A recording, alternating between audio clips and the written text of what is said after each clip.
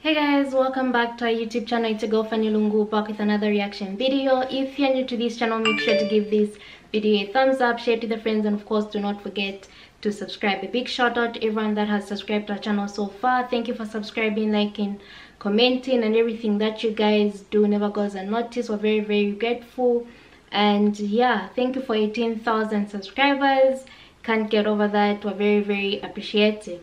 And a big shout out to the person that suggested this. So today I'm going to be reacting to all the information mentioned in the Quran was already present in other books. Who created God? So without wasting time, let's get into the video. Assalamu alaikum, my name is Sabina. Forgive me for my unclarity, this is a rather spontaneous question. Um, I have a friend, she's an atheist, and on our endless debates on the existence of God and all that we talk about, she has two claims, she makes two claims. When I pose her with the question of what the Quran says in terms of the existence of the universe and the world and how it states many facts, she turns around and she says, Well, that knowledge was not just for the Quran, it actually existed before the Quran. There's um, scriptures, there is books before the Quran was even written detailing information about the universe. So it's not just this knowledge that is superior to the Quran. What do I say back to that? is she lying? Do scriptures exist? I mean, I have ignorance myself, but you know, is this knowledge like was this available before the Quran was written? And sorry, secondly, another claim she makes is that I give the analogy of, you know, you have something in creation, who knows it? You know, the creator will know about everything about it. And I talk about, you know, if there is no God, how can we possibly exist if you keep on going further and further and further and back? There's no end, and if there's no end, how do we exist? But then she says, well, from a religious point of view, you say, well, God is the end. Well, I say, as an atheist, who says God is the end? Who created God? That's my question. Thank you. Sister has posed two questions which are again common. The first question is that all the things mentioned in the Quran were already present before. So what's new? It's present in other scriptures and other books, etc. That's the first question. The second question, who created God? As far as the first question is concerned, I do agree that certain things were present in time before the Quran, but they were not called as established facts. They were not called as established facts. For example, the thing I quoted that the sun, previously people thought that the sun rotating. There are certain things which were there in the Greek history and the philosophical history. But for example, when the Quran speaks about the spherical shape of the earth, these Greeks, they believed that the earth was spherical, but no one believed in them. So certain facts, not all, a small percentage what the science has come to know today and what Quran mentions were told by people previously, but they failed to realize that the same Greeks mentioned hundred other things which were unscientific. The same Greek even mentioned that the earth was center of the universe, which is totally wrong. So imagine if 100 points are mentioned and Muhammad Sallallahu picks up one which is correct, that's also not possible.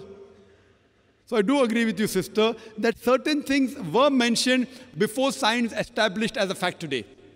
But these things weren't established that time. And to say that out of the hundred false things they mentioned, if one thing is right, to pick up the one correct thing is again also not possible. Once it's possible, but not thousands of times, sister. Because only a person who is, even a scientist cannot do that. Only the Creator Himself can do, and that's Allah subhanahu wa ta'ala. So I do agree with you, but that portion which has been mentioned earlier in earlier scriptures and other philosophical books is a small portion, but that too, along with that portion, there are other things which aren't scientific mixed with that. Coming to the second part of the question, that who created God? Normally people in Dawa, they used a false strategy of logic, which tips itself. Most of the people, when they try to prove the existence of Allah subhanahu wa ta'ala, they say that everything has a creator. For example, who created this book? How did the book come into existence? Somebody created it. Who created it? And they go back. Where did you come into existence? Who created you? Your father. Who created your father? The grandfather. And then goes to God. Who created this microphone? Created the factory. Who created the factory? And then they try and prove who created the sun? God. Who created the moon? So based on this, they try and prove that everything has a creator, which according to me is a wrong logic. In my strategy, what I spoke today, I never said everything has a creator. That is the atheist who told me that the first person who will tell about the mechanism of this thing is the creator. I never said that. I say every created thing has a creator. But by definition, Almighty God is uncreated. It is like there's a person, suppose my friend, he comes and tells me that my brother John was admitted in the hospital. He gave birth to a baby. Was it a girl or a boy? Can you guess, sister? Was it a girl or a boy? Brother John gave birth to a baby. Was it a girl or a boy?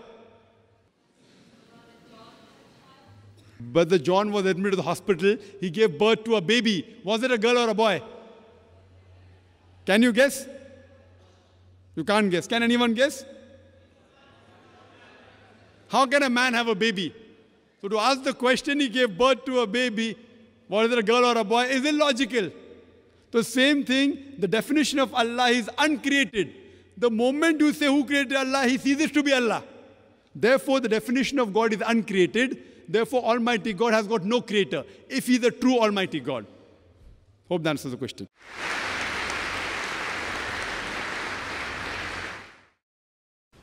Very interesting, and I'm glad that he's actually clarifying things by saying some some certain things certain things may have existed back then but they were not exactly established as fact facts.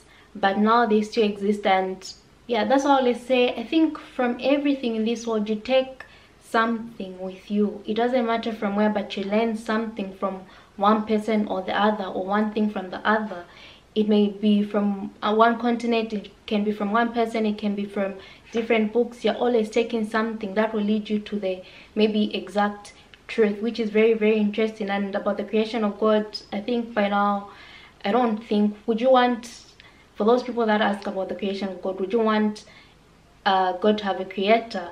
Would he still be looked at as God then. Otherwise, a big shout out to the person that suggested this. If there's something that you have to say, let us know in the comment section below. If there's something that you want us to react to, if there's something that you want us to react to, drop the link in the comment section below and we'll be more than glad to react to it. Uh, make sure to give this video a thumbs up, share it with your friends, and of course, do not forget to subscribe. And I'll see you in my next reaction video.